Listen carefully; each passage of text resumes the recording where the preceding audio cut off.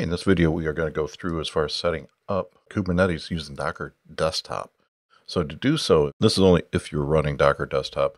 Uh, come into Preferences for Docker Desktop, and you can see here uh, I am using the Mac OS version. There's a tab for Kubernetes. If you're using Windows, it can be uh, fairly uh, similar to this. Uh, all we have to do is come over here and uh, enable Kubernetes. And you can see here, show system containers.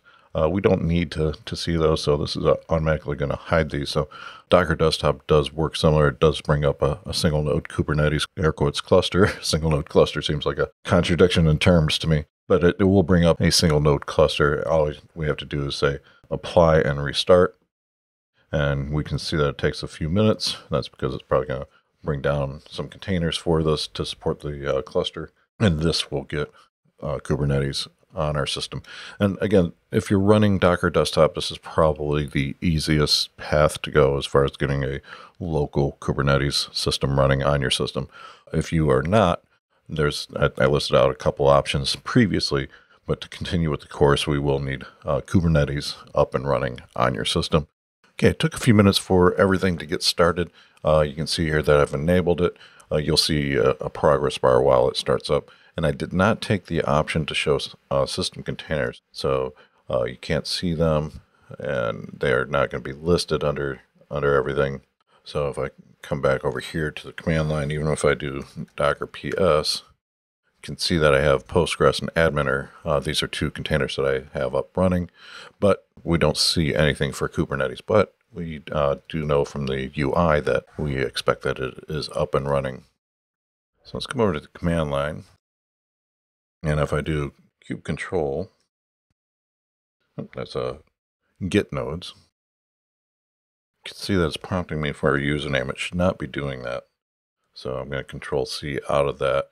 And if I had some other version, such as Minikube installed at one time, might have to go ahead and set it to use the uh, desktop version. And so what we can do is kube control config get context can see that I, I do have uh, another one there. So at some point in time, it looks like the second one was created there.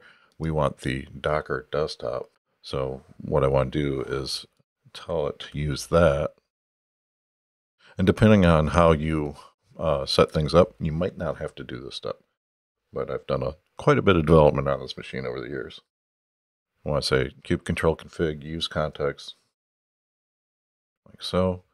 So we switch the context in the kube control and clear this.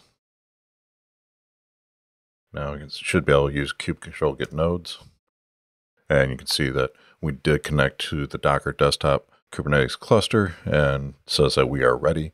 And we're not really running much right now, so not much to see, but we are able to connect to uh, the Docker desktop Kubernetes single node cluster.